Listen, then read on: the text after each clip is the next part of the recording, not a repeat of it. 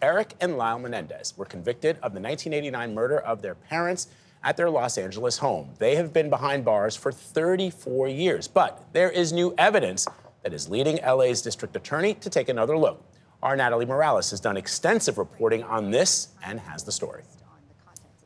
Yesterday, the Los Angeles County District Attorney George Gascon revealed that the emergence of new evidence in the case of Erik and Lyle Menendez could lead to a resentencing. We have been given a photocopy of a letter that allegedly was sent by one of the brothers to another family member talking about him being the victim of molestation.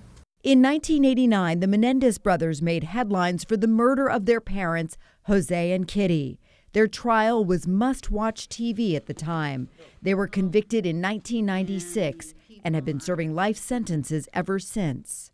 The brothers, now 53 and 56, have never denied killing their parents, but say they were repeatedly sexually abused by them and committed the crime because they feared for their lives.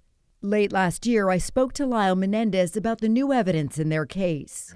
What did you think when you heard about these new claims and evidence? I mean, for me, I just was happy. Just a burden to be telling what happened to and just have so much doubt in the public air. If the judge finds this evidence credible, I think it is sufficient to give them a new trial. Cliff Gardner is an appellate lawyer for the brothers. He says the new evidence includes a letter that was recently found in storage that Erik reportedly wrote to his cousin eight months before the murders. Every night I stay up thinking he might come in. I'm afraid. He's crazy.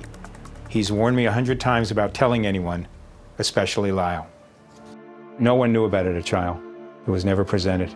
Another attorney for the brothers, Mark Geragos, also spoke, saying the reviewing of the new evidence is long overdue. We've got a much more robust and evolved understanding of abuse. I think it's time.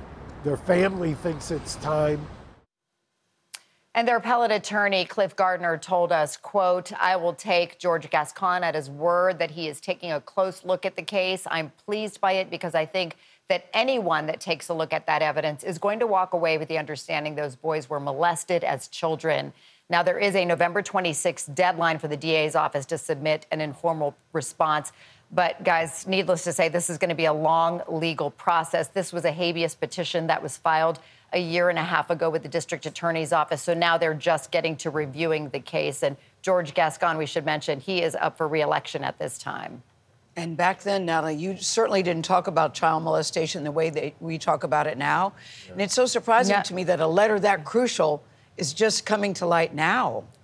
Yes, this was a letter that was in storage for many, many years. And this was a letter that Erik wrote, um, which, you know, would show that, you know, this, this was a letter that was written eight months prior to the murders. Yeah. And it would add to more evidence, perhaps, uh, that they were that they were abused. Yeah, and I just heard that 23 of the family members also want, we keep calling them the boys, but the Menendez brothers out. They said they've spent enough time in jail. Wow. We'll be following this case. Thank you, Natalie. Thank Absolutely. you very much. Always Thank you.